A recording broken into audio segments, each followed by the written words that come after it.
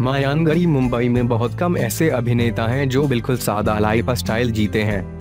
दुनिया भर में कई ऐसी मिसालें आपको मिल जाएँगी जब गरीबों की मदद के लिए अरबत्ती तक आगे आए हैं। लेकिन बॉलीवुड इंडस्ट्री में एक ऐसा मशहूर अभिनेता भी है, जो करोड़ों की संपत्ति दान कर चुका है और बेहद सादा जीवन जीता है। इस सेक्टर ने अपनी पूरी संपत्ति सामाजिक कार्यों में लगा दी है।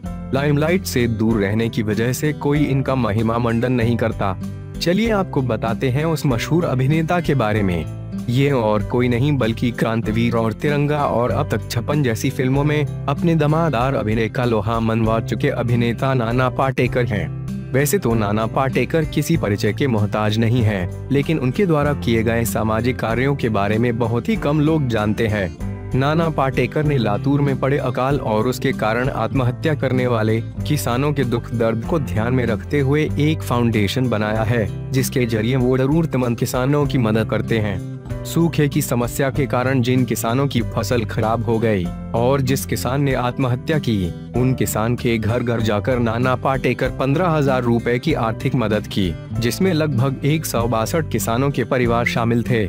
नाना पाटेकर ने अपनी सारी संपत्ति को ऐसे ही सामाजिक कार्यों के लिए दान में दे दिया। वर्तमान में नाना के पास सिर्फ़ एक बी का मकान है, जिसमें नाना अपनी बूढ़ी माँ और परिवार के साथ रहते हैं।